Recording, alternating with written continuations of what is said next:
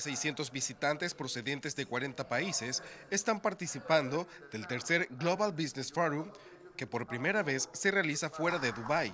Panamá fue escogida como la sede de este evento.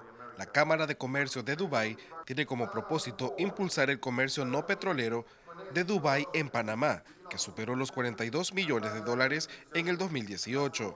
Mire, tenemos una oficina de la Cámara acá en Panamá, tenemos una oficina en Sao Paulo, Brasil, en Buenos Aires, Argentina, y como dijo, eh, vamos a tener una en México. Esto va a ayudar la profundización de la relación entre Dubái y, y, Latinoamérica, porque tendremos oficinas locales que buscarán, que, que harán una red de negocios locales para realmente eh, expandir la red de contactos de nuestros miembros en la Cámara.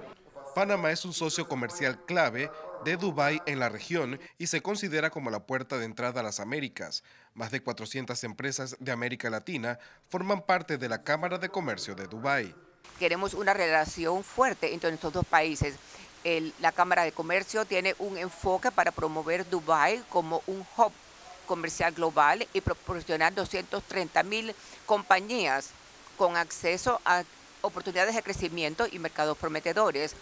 El intercambio de bienes y servicios entre América Latina y el Medio Oriente aún es mínimo. En el 2018, esta permuta sumó cerca de 16 millones de dólares. Pero creo que la principal razón por la que no hacemos negocios entre nosotros es que aún tenemos un enorme golfo entre nosotros y tenemos que conocernos más y entendernos mejor.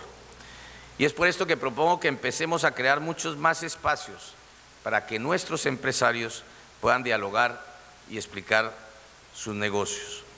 Este foro, que durará dos días, examinará las oportunidades emergentes entre ambas regiones.